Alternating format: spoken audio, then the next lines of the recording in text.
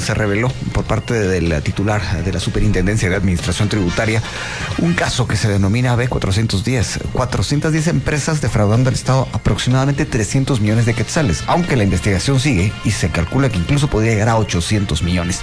Hoy aquí presencialmente, el licenciado Marco Livio Díaz, titular de la SAT. Uh, señor Superintendente, bienvenido, buenos días. Muy buenos días a todos los oyentes. Le agradezco que haya hecho el tiempo para venir. Creo que es mejor. Eh, este tipo de charlas son, bueno, siempre son mejores presenciales, pero como un tema así, mejor todavía. Quisiera empezar por esto. Comparado con el caso de la línea, este caso B410, como en números y en, y en intensidad, ¿cómo lo ve usted? ¿Cómo lo compararía? Bueno, el caso de la línea es un caso que golpea a la administración tributaria por dentro porque hay personal involucrado. En temas de número de defraudación, este caso es mucho más grande, pero bastante más grande que el caso La Línea. Y está empezando. El tema de la línea empieza con apenas 25 millones de denuncia. Este empieza con 300 millones, o sea que es bastante veces más grande. ahí se puede ver la diferencia. Así es. Y tal vez tiene la gran diferencia que esto no hay personal involucrado en la superintendencia.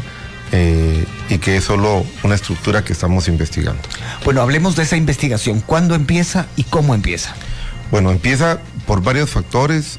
Uno, por esta denuncia del contador que dice, yo no soy contador de esas 100 empresas, aunque en eso era un mar de denuncias porque llevamos más de 71 mil contadores dados de baja que dicen, yo no soy el contador. Inicia porque nuestro sistema de detector de anomalías ve una facturación inconsistente y inicia también por la dirección falsa, porque también el sistema empieza a detectar que esa dirección se está usando mucho y, que tenemos que investigarla. O sea que creo que varios departamentos dan la voz de alerta y eso le permite a nuestro departamento de investigaciones especiales eh, llevar la investigación. ¿Eso cuándo ocurre, señor superintendente? Eso ocurre hace más de nueve meses aproximadamente, cuando vemos en el sistema de detección de anomalías esa gráfica que mostré en la conferencia, que no es una arañita que se va expandiendo, no que está totalmente entrecruzada, nos vemos obligados a parar y decir aquí necesitamos un software especial, lo conceptualizamos, lo desarrollamos y eso nos permite eh, administrar mejor la información. ¿Eso se hace técnicamente en secreto o en un, digamos, un pequeño grupo, lo sabía nada más? Correcto, así es. No se lo informaron en su momento al presidente Yamatei. Eh, no le hemos informado a, ningún presidente. Yo he sido un funcionario que digo que la administración tributaria es autónoma. Eh, claro que está el ministro de Finanzas como presidente del directorio. El directorio tampoco me pide que yo reporte todas las investigaciones. Esta investigación no se reporta al principio al directorio.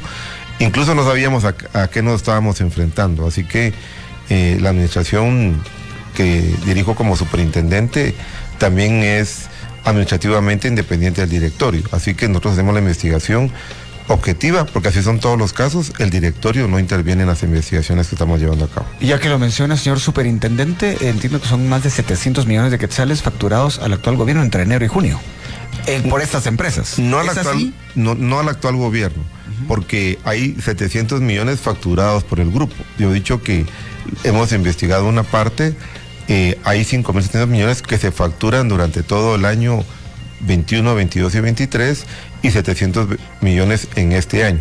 Pero no está dirigido al gobierno, ellos se facturan también entre sí mismos. Para, digamos, uno vende y hay otra factura que anula esa compra o esa venta con compras para no pagar débito fiscal y eso hace más difícil la investigación. Ellos también venden empresas al sector privado que las utiliza legítimamente, digamos, y creo que es bueno mencionarlo. Tengo hoy la impresión de que lo que compra la Municipalidad de Guatemala sí es una compra legítima, esos 420 mil quetzales que hemos dicho, me parece que sí es una compra legítima, pero la compañía está contaminada porque fue fundada con papelería eh, alterada. Quien compra está al tanto de que está comprándole a una empresa, digamos, no. ¿De eh, cartón o cómo se pueden llamar ese tipo de empresas? Creo que hay de dos situaciones. Creo que hay algunas como esta, la Municipalidad de Guatemala, donde sí hay una compra real. Y hay otras donde... Cuando dice compra real es que sí les dieron el servicio. sí, correcto. Lo que compraron. Lo que compraron. Eh, esta compañía, eh, ahora que hemos revisado un poco el miércoles, por el martes por la tarde, miércoles por la tarde fue, creemos que sí, sí se le proveyó a la Municipalidad de Guatemala, quiero ser justo con la Municipalidad de Guatemala, sí es una compra real. Y este, por eso es tan difícil distinguirlos, pero sí tiene todas las características de la B410. Hablemos de esa comparación que hicimos al principio. La línea empieza con una ah, denuncia de 25 millones de quetzales defraudados. Aquí estamos hablando, partiendo de 300 millones. El modus operandi, así de la manera más clara posible para nuestra audiencia. ¿Cómo era como estas, este, este, este grupo? Es un grupo, es una estructura. Es una estructura. ¿Cómo estaban funcionando y cómo ganaban, o sea, cómo se quedaban con el dinero? Bueno, eh, esa es parte de lo que hay que establecer. Nosotros dimos a conocer algunos ejemplos, eh, se pidió información bancaria y hay 13 eh, millones cobrados en efectivo, como que son las comisiones por la operación de las empresas, ¿verdad? 13 millones cobrados y movidos en efectivo. Así es. Así es. Eh, tenemos los cheques, eh, perdón, son 11.5 millones lo cobrado en efectivo. De eso sí tenemos las pruebas. tenemos los cheques que fueron cobrados, fueron montos muy altos, de 200 mil, 489 mil, 300 mil quexales. En promedio los cheques fueron de 250 mil quexales. Y eso ustedes tienen, ¿quién los cobró? Sí. Y eso ya lo tiene el Ministerio Público, lo tienen los tribunales eh, y los tiene, lo tiene también Contraloría. Correcto. Bueno, sigamos entonces con el modus operandi. ¿Cómo es, como digamos, eh, cómo hacen el negocio? Digamos? Muy bien, empiezan, eh, inscriben empresas con papelería alterada, sin sustancia económica, en direcciones no localizables, algunas inexistentes, otras existentes pero donde no hay ninguna infraestructura. Creo que tuvieron varias fuentes de negocio. Una fue vender las empresas. Dos, esos cobros de como de comisiones que vemos en efectivo. Y tres, que es lo que no establecemos, eh, aún no sabemos bien, es que las empresas pagan esas facturas. Entonces ahí Aún no sabemos si el dinero regresó a las compañías, qué fue lo que pasó con el dinero físico, no lo hemos podido establecer, ya no es nuestro campo de investigación. Bueno, eh, ah, deslindemos un par de áreas de, estos temas que estamos hablando, porque hay mucho número, y cuando hay mucho número, la gente cualquiera puede confundirse.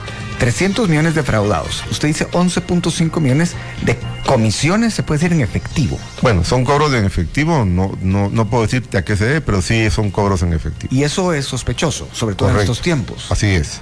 Bueno, y eh, si digamos una, eh, una, una, de las entidades del Estado compra y compró, como le digo, algún eh, servicio, sí se lo dan. Bueno, o, hay, dicen que no. Ahí tenemos evidencia que hay ocasiones en que no se lo dan.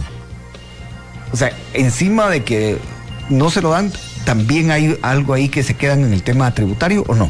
Sí, correcto. Eh, no solo le prestan y servicios le venden al Estado, en una parte estamos con muchos indicios que no le prohibieron al Estado, eso lo tiene que establecer la Contraloría de Cuentas. ¿Por qué?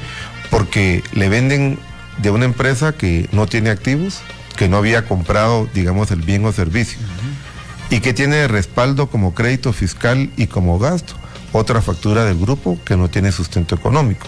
Y esta otra tampoco pagó el impuesto porque tiene a su vez otra factura de ese mismo grupo que no tiene activos y que no tiene compras.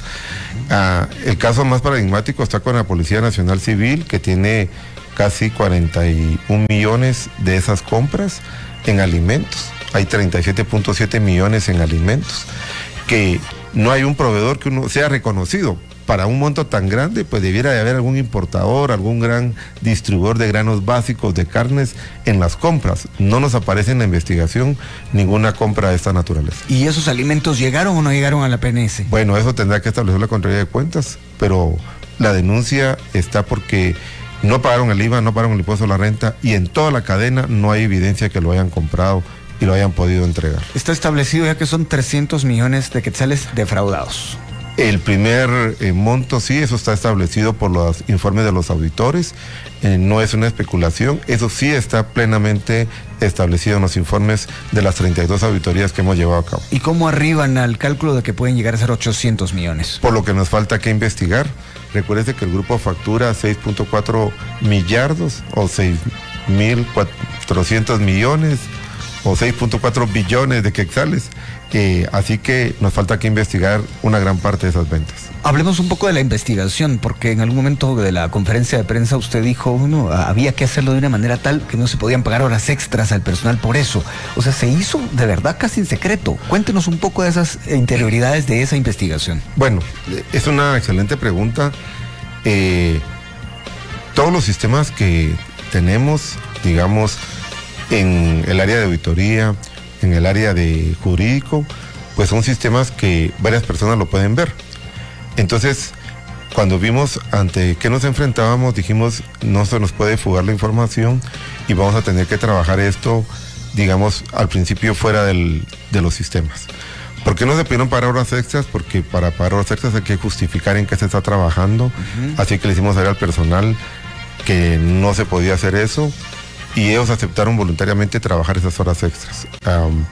así que mi ¿Cuántas personas participaron en esta investigación? Eh, 70. 70. Sí, más o menos 70 que personas. Que guarden silencio 70 personas no, es fácil. No, yo creo que es un gran reconocimiento al equipo de trabajo que se mantuvo la confidencialidad del, caso.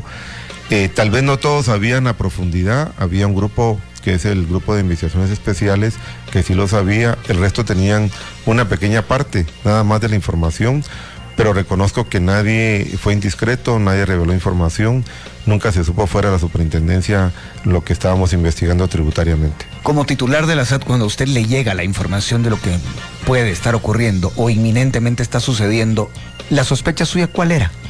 o sea, ¿qué estaban buscando en esa investigación? Bueno, nuestra área de competencia realmente es la defraudación tributaria. Cuando yo veo el esquema de, facturación, pues sí me doy cuenta que estamos ante un grave problema de defraudación tributaria. Eh, ya lo he dicho públicamente, es un caso que ha atormentado mi vida, mi salud, mis horas de sueño, porque sabíamos que estábamos ante algo muy grande y que teníamos que tomar todas las precauciones para manejarlo correctamente, ser objetivos y establecer la verdad. Así que sí, han habido muchos momentos eh, difíciles en esta investigación tributaria que hemos llevado a cabo. Eh, ha habido que tomar muchísimas decisiones, cómo se maneja, cómo lo presentamos, cómo lo abordamos. Ah, hemos trabajado intensamente un grupo de personas eh, para llevar a cabo y finalizar la investigación. En este caso creo que vale la pena, señor superintendente, voy a ver el reloj si todavía tenemos tiempo. Eh, usted dice que hubo que tomar decisiones difíciles. Sí. Mencione dos. Por ejemplo, eh, hay una discusión de quién debe presentar el caso, si solo los abogados, si van a firmar los, los auditores que participaron en la investigación. Eso tenía un reto de logística muy grande. Eh, no es fácil concatenar tantos informes. La denuncia tiene 644 folios. Así que hubo que decidir qué enfoque le damos a la, a la denuncia. Cuando dice que le ha quitado el sueño es porque esto conlleva peligro para quien participó en esta investigación, incluso para usted. Bueno, lleva varios factores. Uno, porque cuando lo he dicho también públicamente, es un caso que como funcionario tributario nos ha dolido porque es dinero de los contribuyentes pagado por del Estado que viene de los impuestos que se han apropiado del IVA o que tenemos indicios que se han apropiado del IVA y del impuesto sobre la renta. Entonces es un caso que indigna, ¿sí? Nos ha indignado. Segundo, como le decía, ha habido que tomar muchas decisiones que hay que pensar, que hay que revisar la ley, qué podemos hacer, qué no podemos hacer. Eso también lo deja uno pensando en la noche. Y tercero, sí, sabemos que hay un peligro contra nuestras personas y nuestras familias que también lo inquietan aún. Es una estructura. Así es. ¿Cree usted que hay un cerebro detrás de esa estructura? Definitivamente sí, tiene que haber un cerebro ¿Un, esa cerebro, un líder, algo como eso? Sí,